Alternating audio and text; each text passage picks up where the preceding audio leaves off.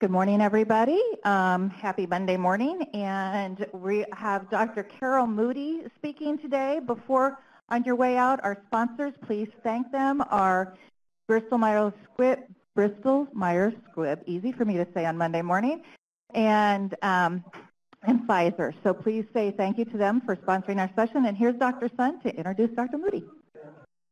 Good morning. Most of you know Dr. Mudy, but I'll give you a little background for those who don't. So Karol uh, did his uh, medical and undergraduate training in Poland and then came to the United States and completed his general surgery training in Philadelphia at Temple University and then subsequently uh, did his cardiac, cardiothoracic training at the University of Minnesota where we, uh, as you know, are a training site for them and had the pleasure of operating with him and seeing him and working with him and he, he was clearly a standout. Uh, I've, I've been training residents for 20 some years, and as also as a program director. And, and in my my time as a as a uh, trainer, as trainer, uh, there are just a handful of people that I would say have the quality, the patient engagement, patient ownership, and uh, technical uh, abilities that uh, that Karol has. In fact, the only one that I would really of the of the trainees that I've had the pleasure of training, who I think is still has has him, uh, is a lady by the name of Jennifer Lawton, who is now the chair of cardiac surgery at Hopkins. But uh, aside from her, Karol, did. And you know, one of the things I also, for those of you who are at the the, the gala this this weekend, we kind of have a new nickname for him, and it's it's it's Bam. Not not because of Bam Bam like you know the Flintstones, but it's uh, for Badass Mudy from our our, our MC. But Karol, uh, Karol is, has been uh, a welcome and an important uh, long-term addition to our, our staff. Uh, you know, one of the things that as we get older, we're concerned about, you know, the trainees as they're coming through because of work hours and whatnot, and are they going to be the kind of person that you'd want to take care of me when I'm old and decrepit and need need surgery and and I'm and I'm happy that Karol is with us because uh, uh, he's the kind of person I want taking care of me when when uh, when when I need it. So, Karol.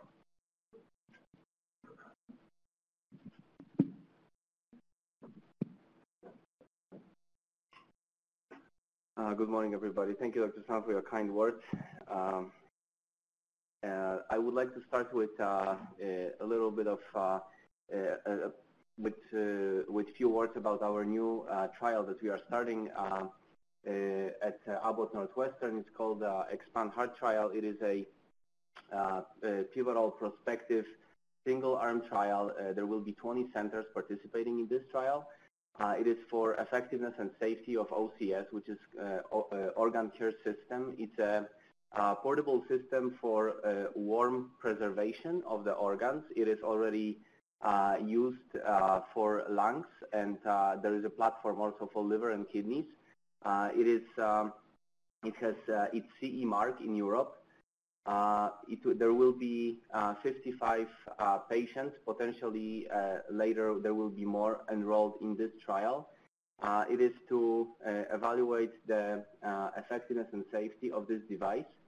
Um, the idea is to increase potentially the donor pool uh, of the extended criteria uh, donors uh, which uh, don't meet the typical criteria for cold or ice preservation.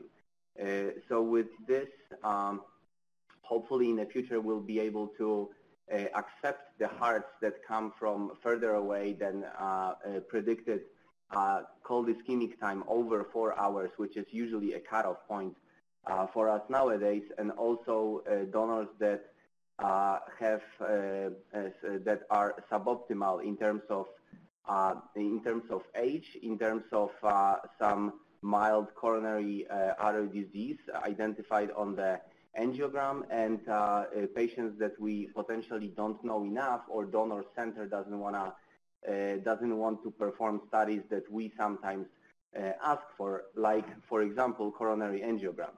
Um, this is the device that where the uh, heart will be uh, placed and uh, perfused with the pulsatile, pulsatile ventricular assist device, and it, there, it has a built-in um, ventilator, so it's basically cardiopulmonary bypass. It's fully portable. Uh, it can travel uh, in the car. It can travel on the plane. Uh, um, I've actually participated in two uh, trials for lungs at the University of Minnesota. It's a lot of fun, uh, very time consuming obviously for, uh, for the center, but we are excited to have it here. And I think we are ready to start. We're going to Boston in two weeks to, for the kind of technical aspect training, and we'll start soon. Uh, in terms of the recipient criteria, basically everybody that is on our uh, transplant, uh, transplant list and uh, is willing to participate in the trial will be eligible uh, to, um, uh, to be part of it. so um, I think at this point everybody knows me. My name is Karol Mudy. I'm one of the heart surgeons here. initially, I thought about talking about post-cardiotomy, post-cardiotomy shock syndrome and utilization of mechanical circulatory support in those patients, but I figured that with few recent uh, cases that we encountered, uh, uh, we will be able to go uh, through different uh, modalities of mechanical circulatory support, different indications and clinical scenarios. Uh, I have nothing to disclose. so the first case, um, first case is a 47-year-old female with a past medical history of ulcerative colitis on chronic immunosuppression uh, remote history of tobacco use and polysubstance abuse according to her husband. Uh, she was clear for uh, years before presented. Uh, she came to outside hospital with upper respiratory syndromes, um, uh, cough, sinus congestion for about a week. She was placed on back treatment and home. Unfortunately, didn't improve, started to develop progressive chest uh, discomfort and pressure.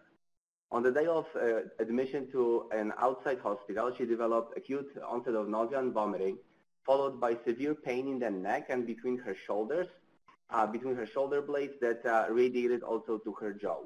She was brought by her husband to a local uh, emergency department. She was hypotensive, started immediately on neosynephrine infusion, and she was transferred uh, to Abbott. On arrival here, she was minimally responsive. She was obtunded, had diffuse skin mottling, and poor peripheral pulses. She was hypotensive with mean arterial pressures in low 50s, heart rate at 140. She was immediately intubated and uh, the doses of inotropes and uh, vasopressors were uh, escalating. So uh, after getting a chest x-ray, we were kind of surprised to see pretty normal looking uh, lungs and uh, normal sized heart with not much congestion. labs showed elevated white count to 17,000, hemoglobin of 10. Platelets were lower at 80, uh, she was anuric at this point with creatinine at 3.3, and she was in uh, profound metabolic acidosis with lactate of 12. So uh, we started thinking, is she septic? Uh, is it aortic dissection with the um, pain radiating to the back, or potentially she has an MI? So uh, obviously, uh, in the back of our minds, we already were thinking ECMO activation, uh, in the meantime, we um, uh, obtained EKG that showed uh, sinus tachycardia and no ST changes. Uh, CTA from the outside hospital after review uh, uh, showed no dissection of the aorta, and her 3D echo looked like this that we obtained at the bedside.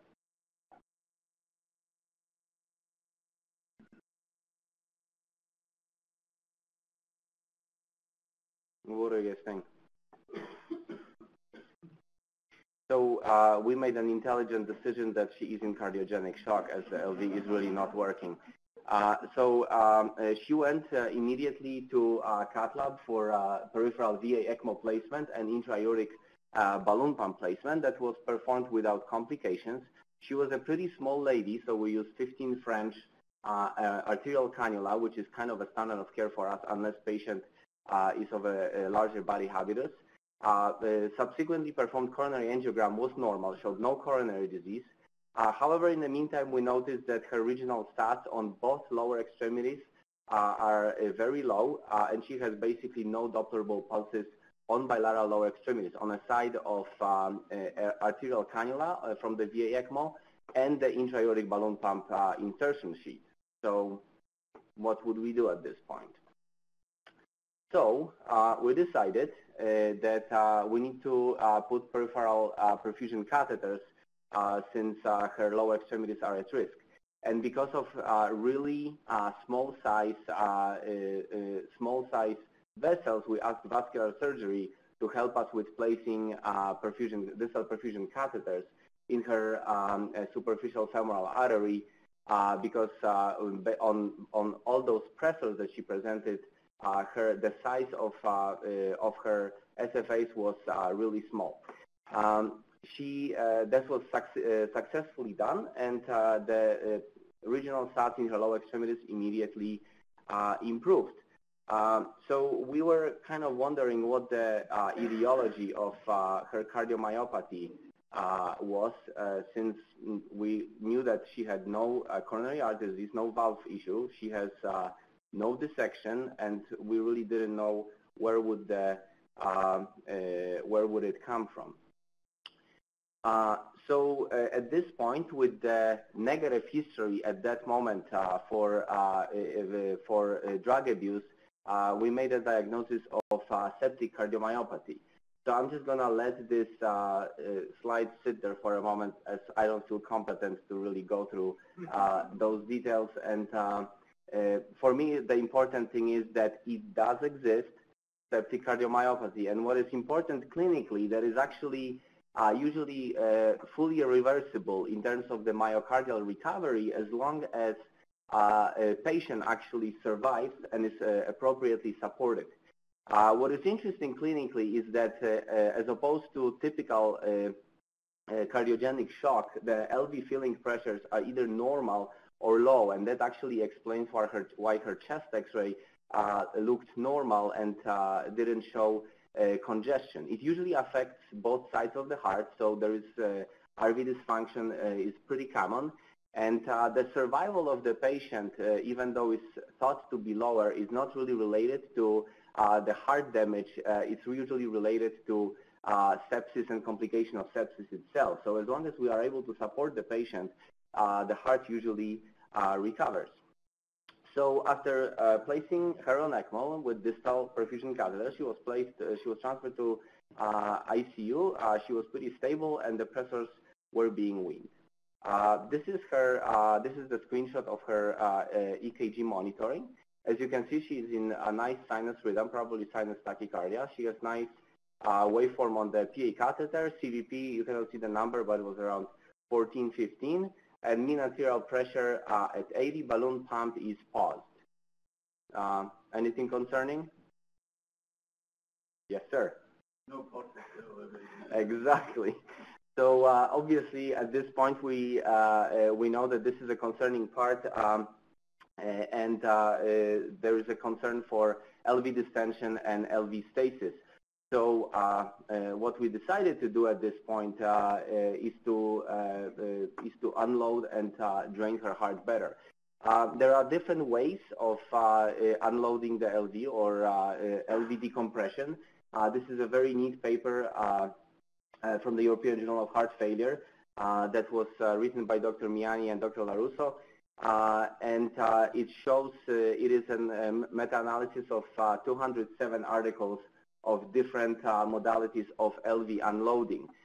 as you can see, they, they identified patients be, operated on between 1993 and 2016 placed on ECMO and there are different ways of uh, of LV unloading.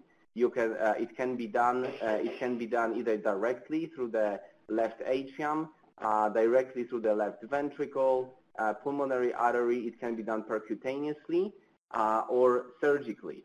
Uh, uh, quite common uh, is, un is unloading with intra-aortic balloon pump, which until recently we used it very broadly and still use from time to time. surgical decompression of LV was only in 16% of patients out of this whole cohort. Uh, sternotomy was performed in 70% of those patients, and minimal invasive approach was used in 29% of patients. So uh, based on that, uh, the question is um, uh, Uh, the question is why uh, uh, why uh, uh, why do we have to really do it? So the the theory the theory behind the need for unloading the left ventricle is that uh, it causes stasis in the left uh, uh, left side of the heart, lungs, and a patient is at risk of thrombosing the heart and, and pulmonary vessels. Also, it increases the wall stress of the myocardium uh, and the coronary perfusion is poor because of the stretching of the left ventricle. So the potential for recovery of the LV is really low. Those patients, according to uh, current, uh, current literature, have mortality of over 90% that have uh, either uh, non or uh, no or very low LV ejection. So because intra-aortic balloon pump is so broadly used and we've been using it until recently also quite commonly, Uh, eh, I, eh, you know, the question is, does it really work with the heart that is not contracting? And uh, uh, this is uh, the largest series of patients that were actually analyzed uh, from by our colleagues from uh, University of Taiwan of patients placed on ECMO support for cardiogenic shock. It's a cohort of over 500 patients that were treated either with ECMO alone, 227 patients versus 302 patients with combined intra-aortic balloon pump and uh, ECMO. And what they found that at two weeks, there was no difference in mortality uh, even after uh, uh, even after adjustment for potential differences between the groups and confounders. So to date, this is the really largest series analyzing this problem. Even obviously, it is a retrospective review. it it gives us some idea about this modality for LV unloading. Were, were those patients um, uh, non-pulsatile or was it just general use? Those are the those were the, this was the general this was the general, general this was the all cohort uh, the all cohort pa uh, patients. So getting back to our case, she went to uh, the operating room for the LV vent placement. This is the modality that we uh, we elected to uh, apply in those patients that have uh, that have no meaningful ejection, and uh, we do it through a minimal invasive approach through uh, anterolateral left mini thoracotomy. We select the intercostal space based on the computed tomography and where the apex of the heart is uh, positioned. It's usually fifth, sixth, or the seventh space. Actually, it's usually lower than uh, than we expect. Uh, it, incision is between six uh, to seven centimeters. with the TEE um, assistance, we are able to identify the dimple on the heart, plus obviously palpation to really uh, to really find a good spot to uh, place the uh, venting cannula and position it against mitral valve. The cannula is usually large bore. It's 28 to 34 French right angle uh, cannula that is standard two intercostal spaces below. It has a little uh, bumper to uh, prevent the cannula sliding deeper into the left ventricle. large pledgeted sutures are placed around the apex and then after uh, placing a stab incision with knife uh, onto the uh, apex. The cannula is inserted, flushed, the earth clamped, secured at the skin level, so the whole system is very stable. As you can see, the, uh, the tourniquets are cinched down, so this really doesn't travel. Hemostasis is a key because this patient is immediately placed on uh, anticoagulation, and uh, then this cannula is connected to the venous drainage from the right side of the heart, either percutaneously through the groin or directly through the right uh, atrium, and this way the heart is uh, uh, decompressed from both sides. Uh, a patient came back to the unit uh, uh, with this setup. she tested positive for influenza type B. tox screen show, showed that she was positive for methamphetamine. This was a screening test. however, a few days later, the confirmatory test showed that actually this was negative, and uh, uh, septic uh, cardiomyopathy seemed to be the right diagnosis for her. Uh, she was uh, she uh, remained anuric because of her cardiogenic shock probably she was immediately started on CRT through her VA circuit.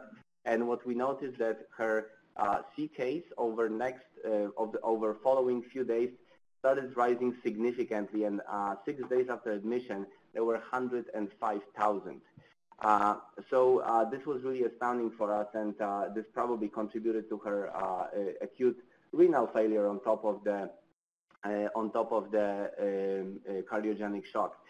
we also thought that influenza, her her flu probably was a cause of her initially uh, initial presenting symptoms with uh, severe muscle muscle pains in her chest and this pain the radiating to uh, between her shoulder blades. Um, we also found in the literature that actually influenza type B can uh, sometimes cause myocardial myocardial damage on top of the skeletal muscle damage and this was uh, most likely a reason of her uh, cardiomyopathy on top of the uh, on top of the septic septic etiology. Uh, so uh, over following few days, she remained very stable. Pressures were weaned. She woke up and followed commands.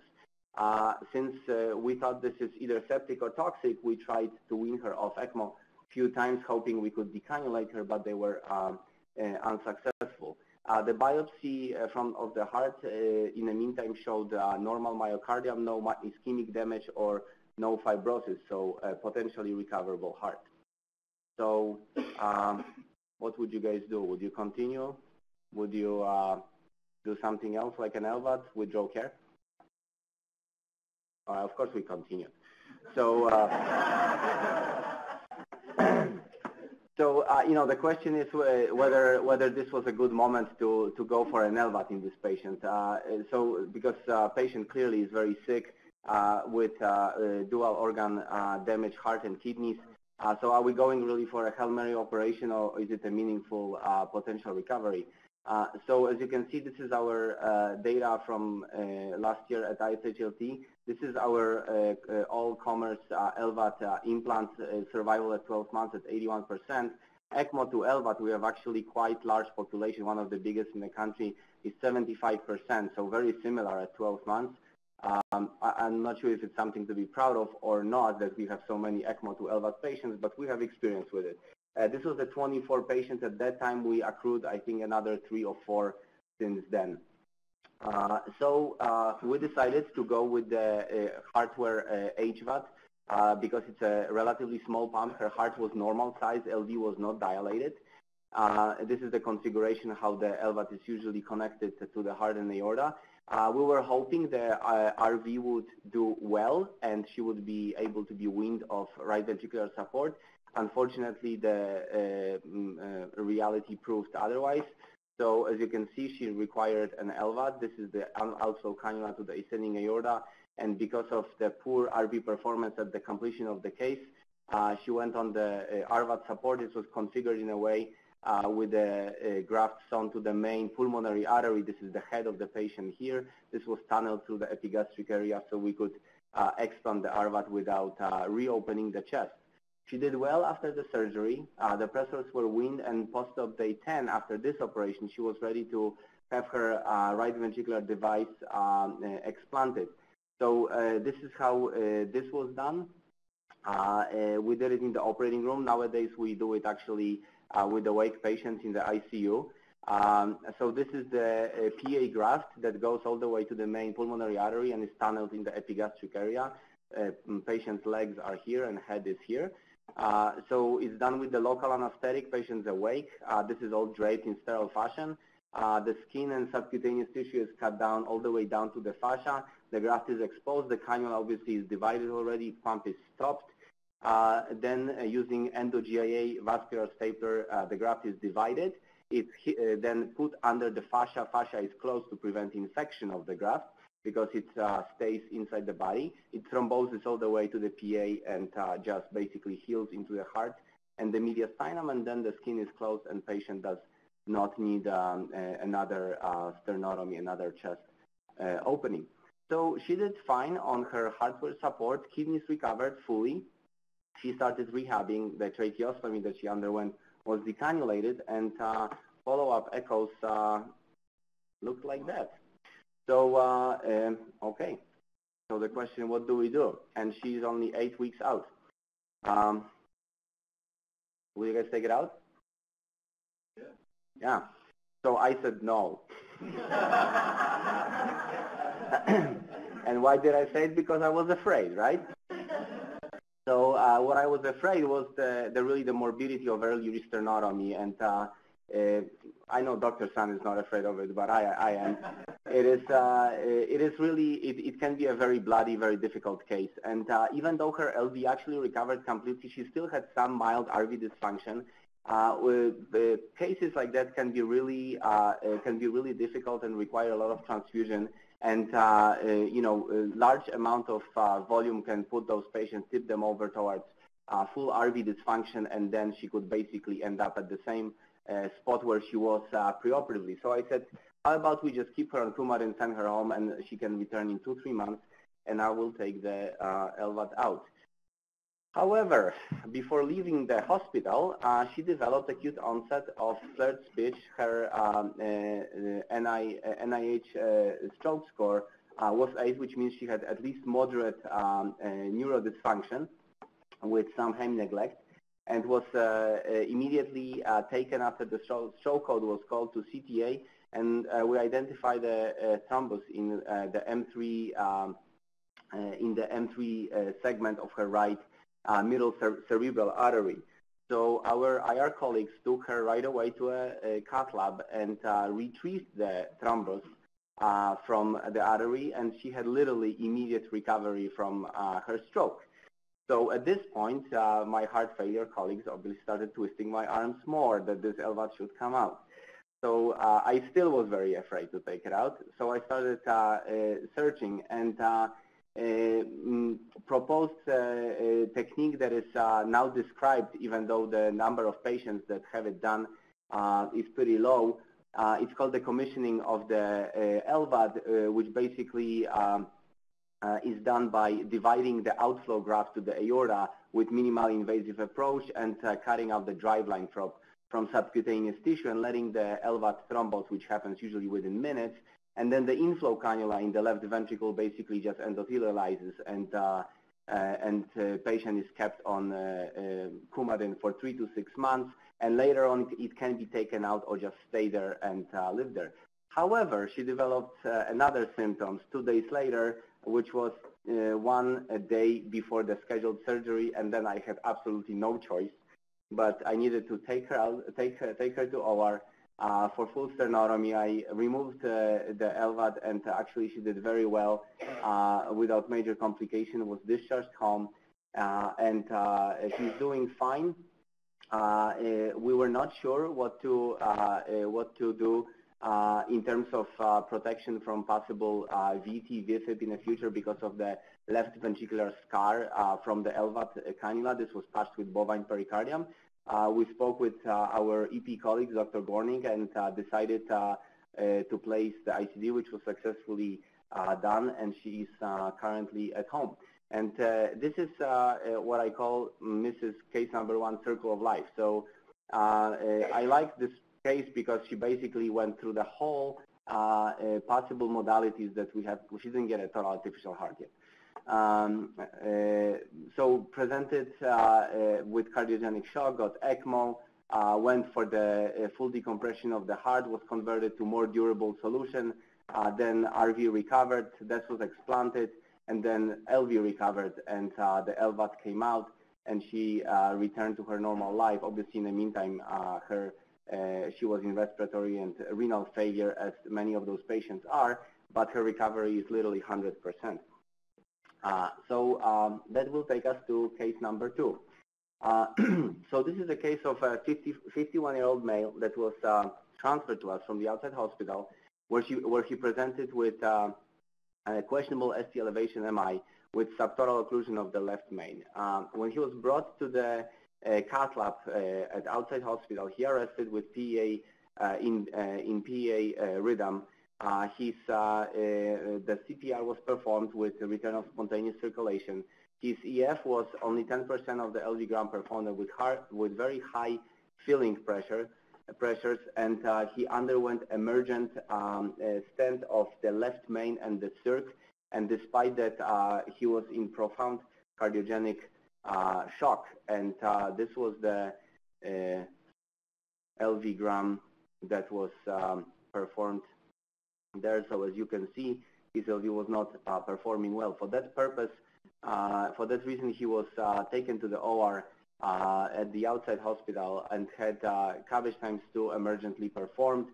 Uh, uh, not surprisingly, upon winning, upon attempt of winning from cardiopulmonary bypass, uh, this was unsuccessful. He was diagnosed with post-cardiotomy shock uh, syndrome, placed on peripheral VA ECMO, and transferred to us the same day.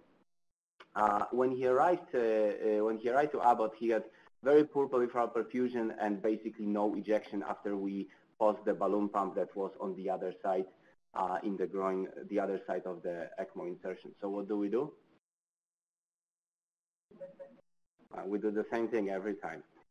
So uh, we took him to cath lab for distal peripheral uh, uh, catheter insertion and uh, potentially drainage of the left ventricle to follow after the cannulas would be in.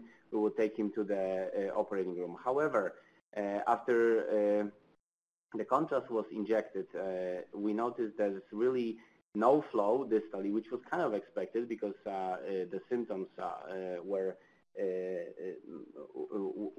were showing this. Uh, but uh, he also had a very similar finding on the other side, uh, where the balloon pump was. Um, and we also noticed that on his aortogram, there was pretty significant um, contrast deficit in the descending aorta. So we uh, we thought or we were concerned that there is either very large clot burden or plaque or this patient has type B aortic dissection uh, because there's clearly something uh, intraluminal.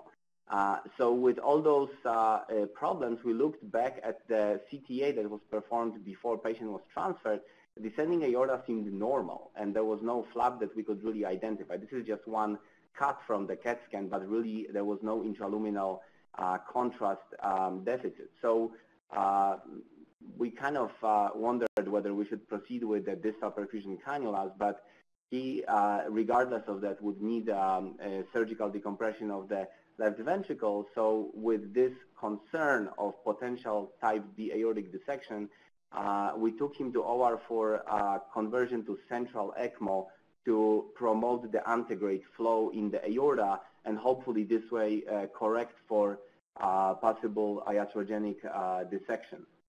Um, upon reopening of his previous sternotomy, he was centrally cannulated. Um, the, we placed a left ventricular apical vent um, per our standard protocol at this point.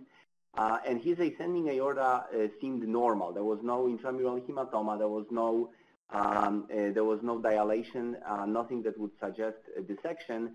Uh, however, uh, when I placed a partially occlusive clamp on the ascending aorta and made an incision, it turned out that there was a flap inside the ascending aorta. So at this point, the diagnosis was changed to type A dissection.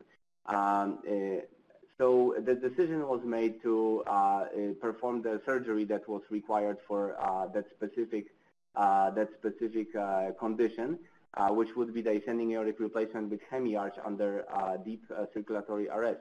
So the patient was cooled down to 18 degrees of centigrade, and we removed the whole ascending aorta from the innominate to the ST junction. The valve and the root were normal. There were no pairs in the ascending aorta, which uh, uh, basically uh, made us think that this was a propagated type B retrograde, potential, potentially iatrogenic or something that happened and was just propagated with the retrograde ECMO flow from the peripheral uh, insertion of the cannulas. Uh, so uh, what this patient ended up with was replace ascending aorta, LV vent through the, L, through the LV apex, right atrial cannula for the uh, ECMO drainage, and return cannula from the ECMO to the ascending um, aorta. Uh, uh, we kept the patient uh, with an open chest for severe coagulopathy. Modified VAC dressing was placed and patient was hemodynamically stable and returned to ICU. Uh, we were very, um, very um, proud and high-fiving each other and stuff. Uh, we uh, always place a, a, flow probe on the LV vent tubing because it shows us how well the heart is drained or what's the flow through the left ventricle. And uh, we did so uh, at the, on arrival to ICU, and we noticed that uh, the LV vent uh, uh, drainage uh, has very, very poor flow, something between two to 500 cc's per minute. And normally we see sometimes two to three liters per minute. Um, so uh, we were not really sure what is happening because intraoperatively, uh, with full anticoagulation, we had very good uh, flush from the cannula. LV seemed well decompressed and the placement seemed fine. but we noticed that there was very little or basically no pulsatility on the Swan-Ganz catheter that per chest x-ray was in the correct position. So we concluded that this patient uh, basically had no RV function, and then looking back, I realized, well, duh, when I opened the chest, there was really no contractility on the right side of the heart. So basically, this patient uh, had no flow through his lungs, and the concern was with, the, with this amount of flow through the left ventricle and uh, uh pulmonary vasculature, this uh, cannula will not last, and the patient is at very high risk of thrombosing the left ventricle and the lungs, um, and uh, obviously that his mortality would immediately uh, go up. So uh, for that reason, he immediately returned to the OR, uh, and uh, uh, we reconfigured his uh, his mechanical supports to biventricular in order to promote the flow through the lungs. So we already had three needed cannulas, just added one to the main PA, and the LV apex vent served as a temporary LVAD inflow cannula, inflow cannula the ascending aorta out, uh, return cannula for the LVAD already was there. A right atrial drainage was there. We uh, included oxygenator obviously in the right-sided circuit to uh, make sure that the patient is properly oxygenated and the cannula was inserted to the, uh, uh, R, uh, to the RV outflow um, and advanced to the main PA. this way, we achieved this configuration with the LVAD inflow through the apex, uh, return to the ascending aorta. We cannot see it here because it's not radio opaque. It's just a, a Gore-Tex graft. Then the drainage for the RVAD from the right atrium and the return to the main PA um, uh, uh, via uh, RV outflow tract. Uh, patient uh, returned to ICU with good flows through both circuits, and his chest was closed day three with this configuration in place.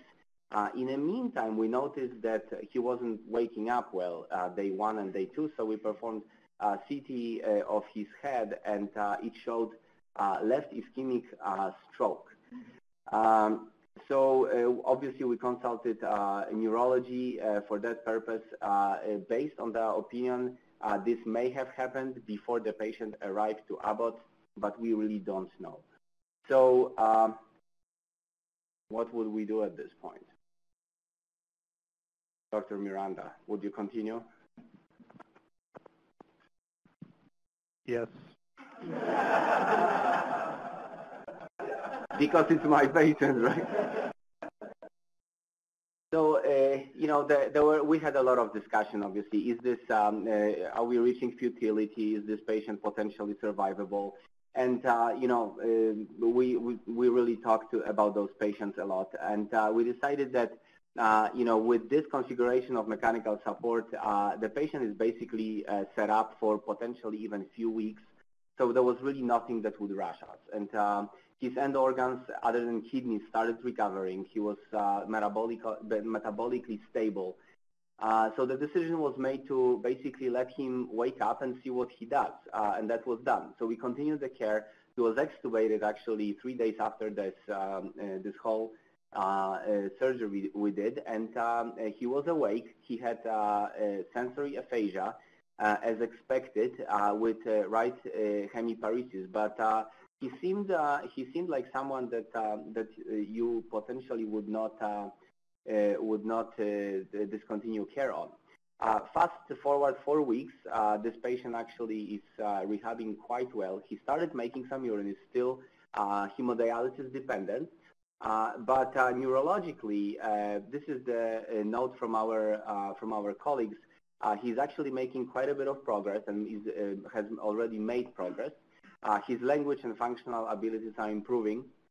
the Uh, concern is that he is really uh, ICU bound and we are not able to rehab him more uh, uh, than um, just getting him out of bed to chair and trying to stand him up uh, because of the um, uh, because of his temporary mechanical support. So um, at this point, we decided that we gotta convert him if we wanna continue to something more durable. Um, uh, the question is, is this the right patient to do so? Uh, we had a lot of discussion uh, amongst, among each other, as you can imagine, and uh, with the family. The family is very supportive. Um, and this patient is planned to uh, receive his HeartMate 3 uh, in two days. Um, the RV support is planned to be kept in place uh, not because we think that the RV requires that, but this because we think that the RV will be uh, worse perioperatively. So we basically uh, just plan to uh, avoid the peri perioperative RV failure and uh, uh, give him what we call a soft landing or smooth landing after the surgery. We'll just change the uh, RVAD to our system where we don't need to reopen the chest and just take the RVAD at the bedside when he's ready to be completely weaned off uh, postoperatively. That's his current setup. As you can see, there's four tubings. Um, uh, this is the LVAD inflow. There is LVAD outflow. You cannot see the cannula going to the aorta. Uh, there is RVAD inflow and RVAD outflow. His lungs are fine. He is not oxygenated on the oxygenator anymore. It's out of the circuit. Uh, so we're hoping we can uh, continue, and uh, I will, guys, keep you posted uh, where we are with him. Um, so I just want to switch gears for a moment and uh, tell you about a little bit about INTERMACS, which is the inter, uh, interagency registry for mechanically assisted circulatory support patients. It's, a, it's an ongoing registry that was initiated uh, at University of Alabama, uh, and it's uh, run by Dr. Kirklin. Um, it, it collects the data of patients with durable mechanical circulatory support uh, mostly LVADs because that's the largest population. There is uh, currently close to 20,000 patients of those. Uh, we also obviously report uh, and put our data into this registry. Um, uh, those patients, those, there are also patients on biventricular support and total artificial heart, but as you can imagine, this is a, a, minority of them. INTERMACS profiling is something that we use uh, for describing the end-stage uh, heart failure as a prognostic tool perioperatively uh, when a patient uh, is planned for a durable, in, um, durable mechanical circulatory support implant. and you know this this profiling goes from the sickest at one to the healthiest quote unquote patients at INTERMACS 7. Uh, we uh, all know those patients very well. Um, sometimes uh, I honestly look at this table um, all the time when I try to uh, uh, classify my patients. Uh, so those are the ones, INTERMACS 1, crash and burn patients that basically have to go immediately, emergently of on mechanical circulatory support, usually either ECMO or biventricular temporary support. INTERMACS 2 and 3, we implant most of our LVAD in this uh, within this spectrum, unfortunately still, uh, INTERMACS 2 patients are the ones that are sliding on inotropes, are developing end organ failure, are on dual inotropes. INTERMACS 3, single inotrope, quote unquote, stable, usually uh, uh, dependent, uh, uh, dependent on very close monitoring in ICU. Um, INTERMACS 4 patients are the frequent flyers, are the ones that are not inotrope dependent as of yet, but um, have recent admissions for heart failure. They basically cannot do anything. They are symptomatic sometimes at they're symptomatic on re at rest. INTERMACS 5 are the patients that can only that are asymptomatic only at rest, uh, but with any uh, physical activity they become uh, symptomatic. And six and seven patients are the kind of a three uh, three 3B patients uh, that can be uh, ambulatory. Um, so with this little intro, I'm just going to take you through uh, the last case, uh, which is a case of the 55-year-old male with known ischemic cardiomyopathy status post previous stenting in New York, uh, New York Heart Class 4. And this is the patient that is INTERMACS 4, uh, as opposed to two previous ones that are INTERMACS 1 or less, even though we don't have a class for ECMO patients. Uh, this is uh, uh, this is a patient that has normal valves on uh, echo with EF of 20 to 25 percent. The unique feature of this patient is that this is the patient that I saw in the clinic as opposed to ICU, and I was actually able to have a conversation with the patient, not with the family. Uh, so uh, uh, that made me really excited. Uh, and uh, long story short, this patient uh, was enrolled to our Momentum 3 trial, received, he, received his LVAD HeartMate 3, uh, um, did uh, uh, quite well perioperatively, and this is the most unique feature or most incredible characteristic of this patient, that this patient's whole hospital stay can be summarized on one slide and we're really not missing anything. And this is what I really like about him. So uh, as you can see, uh, as Dr. Zimba described, uh, this is the patient that uh, underwent uh, HeartMate 3 implant for ischemic cardiomyopathy, had some RV dysfunction, was supported with dobutamine temporarily, and this was weaned. He was admitted uh, on the 14th for his right heart cath. Four days later, after optimization, he got his HeartMate 3 and was discharged 10 days after the surgery um, and had no complications. So uh, this is the patient, this is the type of patient we want to see, obviously, uh, more. Uh, so uh, just getting back to um, the INTERMACS profiling and uh, uh, risk stratification. INTERMACS profiles obviously are commonly used at the time of the LVAD implant uh, as a as a prognostic factor, whether uh, what, what, we can expect perioperatively and postoperatively. Uh, however, uh, uh, this was this is not currently very commonly used for patients that are uh, at end-stage heart failure but are still treated medically, and we have a fair amount of those patients in our clinical practice, as we know. so this is a, a, very nice paper from last year by Dr. Stewart that was published in Circulation, and uh, um, it is a, uh, uh, it is a patient that is that is looking at a cohort of 166 patients with end-stage heart failure, patients that are with advanced heart failure but are ambulatory and stayed outside the hospital. Uh, it includes patients uh, from INTERMACS 4 to 7, so the non-inotrope dependent patients. Uh, those are the uh, characteristics, uh, the, characteristics of uh, this cohort. Uh, as we can see, uh, INTERMACS 4 is for INTERMACS 4 we have 23 percent of patients, and um, INTERMACS 5, 32, and the remaining is the, pa the patients in INTERMACS 6 and 7 what is uh, what is uh, interesting uh, in this uh, in this cohort that at one year out of the whole group of patients, so also the, the, ones that are uh, New York Heart 3A and 3B, only 47% of patients are alive on medical on optimal optimal medical therapy. And this is this was the study that was uh, conducted in 10 centers around the country that also offer mechanical circulatory support and transplantation. So those are all, all uh, tertiary and quaternary centers.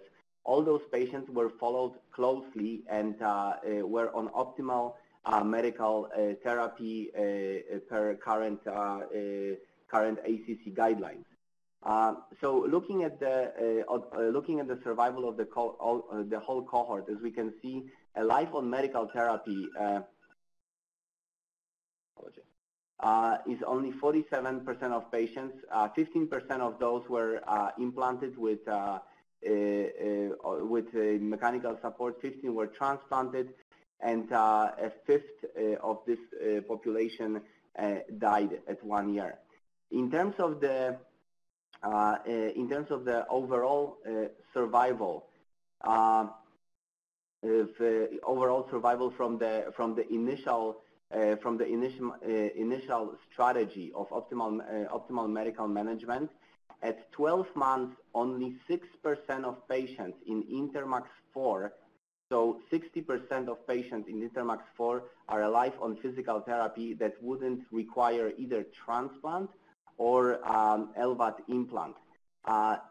Even more, uh, the mechanical, uh, the MCS-free survival uh, at 12 months on optimal medical management is only uh, uh, 39 uh, percent of patients. So INTERMACS 4 patients are the ones that we really that we really are trying to target of target in terms of capturing early and bringing to appropriate advanced therapies.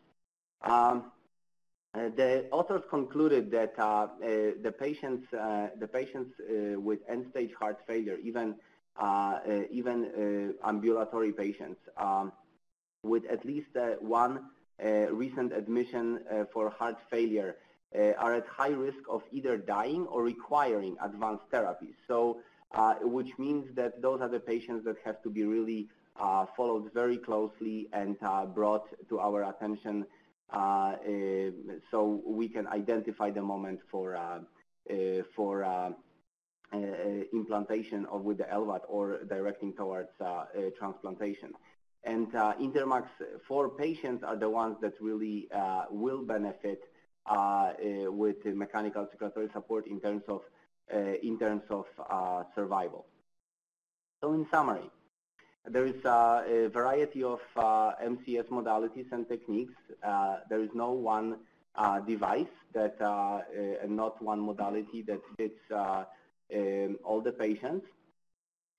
identifying the patients in, with in end-stage heart failure and with high-risk features like recent admissions for heart failure in low INTERMACS profile will help identify the moment of the uh, implantation of advanced therapies and will improve survival.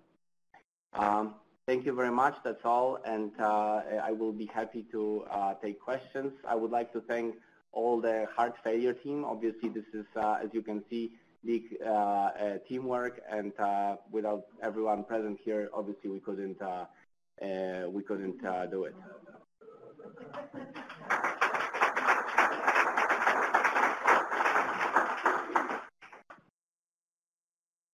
Carl, thanks. That was awesome. Um, does for INTERMACS 4, are you required to have a hospitalization for heart failure in the last year, or did they just add that to make it more discriminating? In this, uh, this was the cohort of the patients that had one uh, one recent hospitalization for heart failure.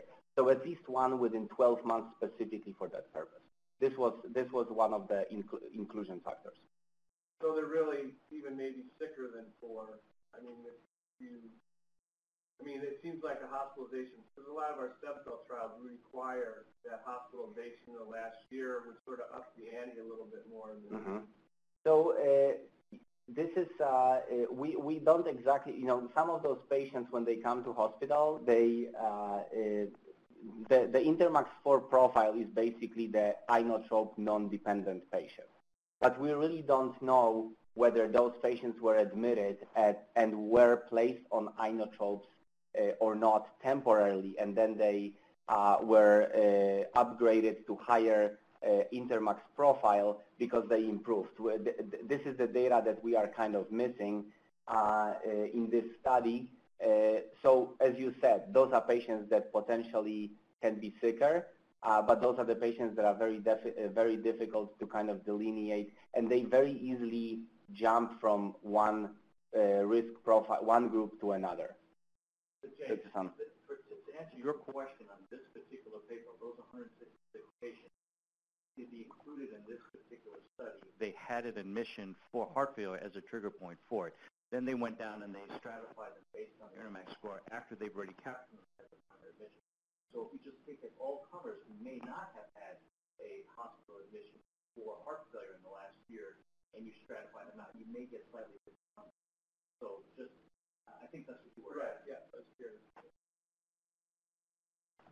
Carl, is there, um,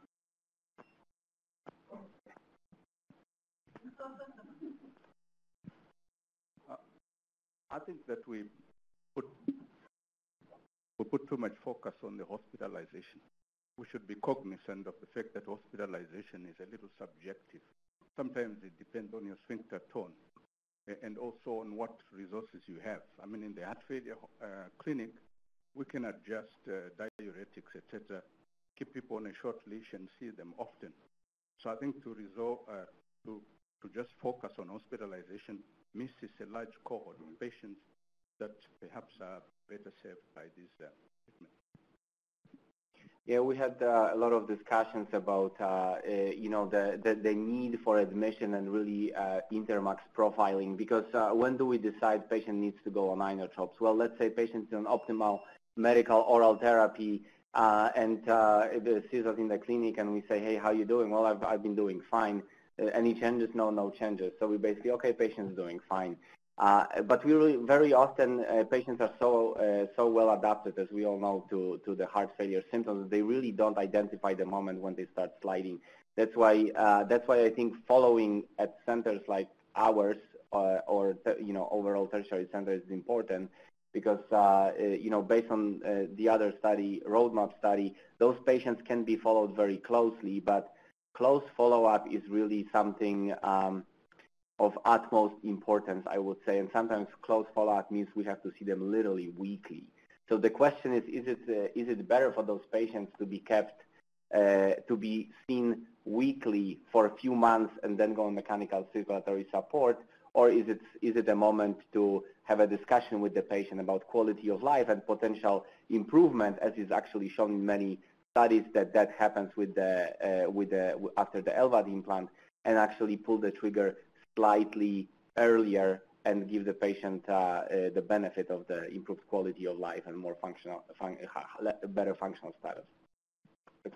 Uh, Carl, on the uh, INTERMACS uh, uh 4 mm -hmm. um, group of patients, has that been tested in a larger population of heart failure uh, patients? Because 164 patients is a, a very small number to make these very important decisions on. And uh, it would, it, you know, because once once that feels more robust, boy, then you can execute on it because there's there's a ton of those patients around, right? Um, so uh, no, I think this is the you know the the largest population. This is the largest uh, specifically uh, population uh, in INTERMACS uh, in in those higher uh, in those higher INTERMACS groups that was treated uh, uh, um, that was uh, the, the, where the intention to treat was optimal medical management. The, when we look at the INTERMACS database, the patients,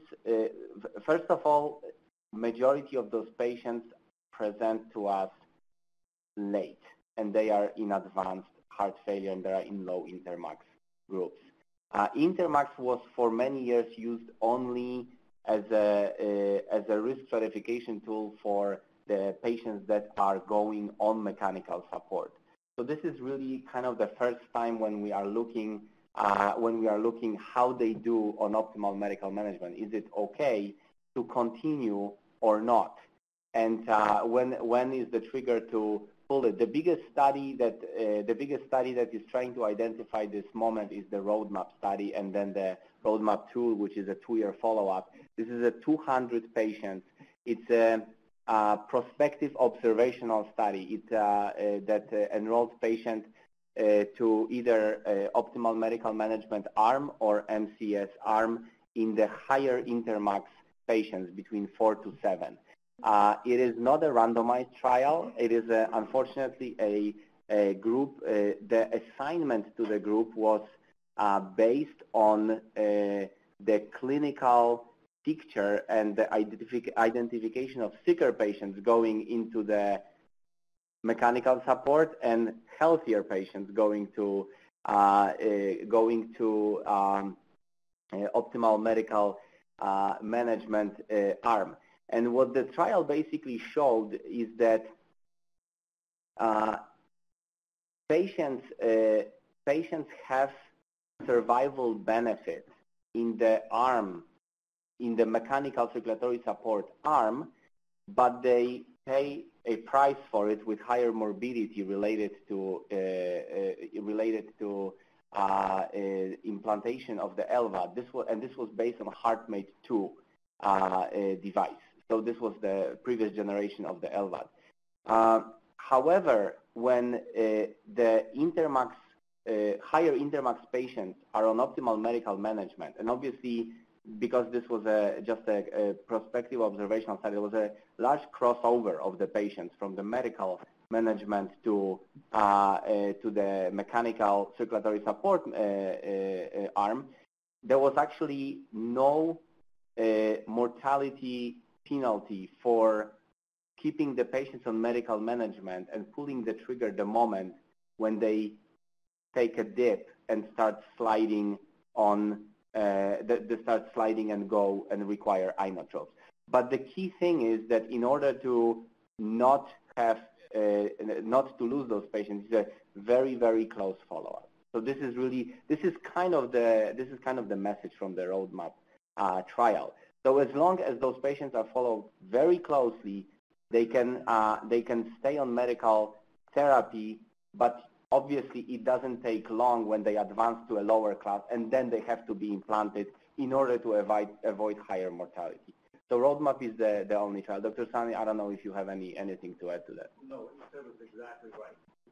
these are two studies.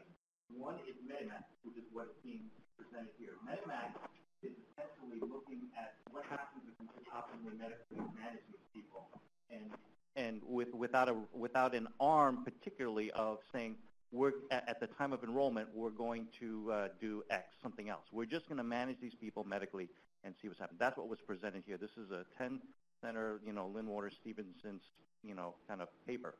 Um, and that's, that's the data you saw. Roadmap, on the other hand, is a slightly different. But we're looking at the same patient population, just a different treatment strategy.